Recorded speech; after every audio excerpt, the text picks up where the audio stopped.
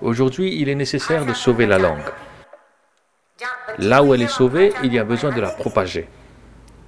Et j'ai partagé une autre inquiétude, celle de pouvoir préserver sa pureté. Cette fois-ci, nous nous sommes dit que le logo sera composé d'un pan et d'un dodo.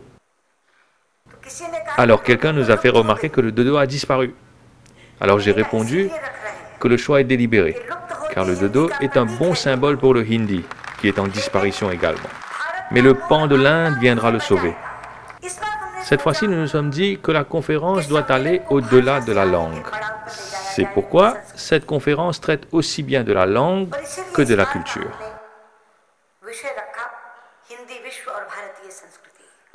Quand j'étais venu voir l'avancée des préparatifs pour la conférence, le Premier ministre m'a proposé que nous dînions ensemble. Nous étions une dizaine à manger ensemble. Et il y avait un plat au menu. Le kitché. Et dès qu'on a posé ce plat sur la table, M. Pravin a dit This is prepared in our home on every Sankranti. You remember, Pravinji? Alors je lui ai répondu que chez moi aussi, nous faisons cela. Toute l'Inde le fait à l'occasion de Sankranti. Alors il a dit que sa mère en prépare à cette occasion et qu'il a demandé à sa femme d'en faire de même, parce qu'il veut aussi en manger à chaque Sankranti. À l'instant, il vient de me dire le fait d'être frustré et déçu de ne pas connaître une langue. Le fait d'être frustré et déçu de ne pas connaître une langue est une chose.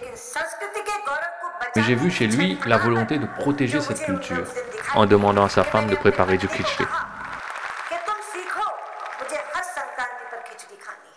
Si les Nations Unies établissent une nouvelle règle selon laquelle tout pays voulant faire de sa langue une langue officielle de l'ONU doit en payer intégralement les frais, nous sommes prêts à le faire.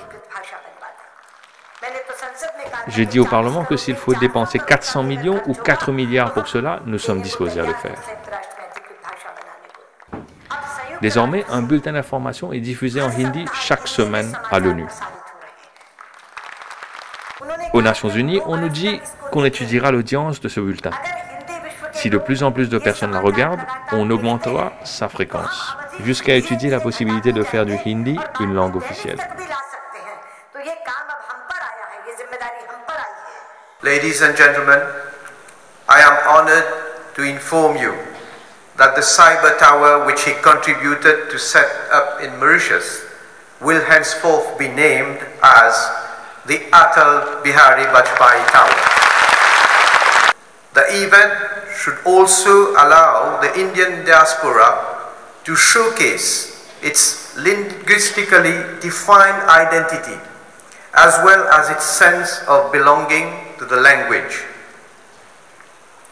Hindi scholars, writers, and laureates coming from all parts of the world will be presenting well researched papers on the ageless Indian culture or Bharatiya Sanskriti. Moreover, it has choked out its place in the high-tech communication sector. Hindi has its place on the international platform. One major objective of the World Hindi Secretariat is to make Hindi recognized as an official language at the United Nations. With over half a billion speakers across the world, one can safely say that Hindi is poised to gain official language status at the United Nations. This will, this will no doubt enhance its stature among languages and contribute to a greater use of Hindi.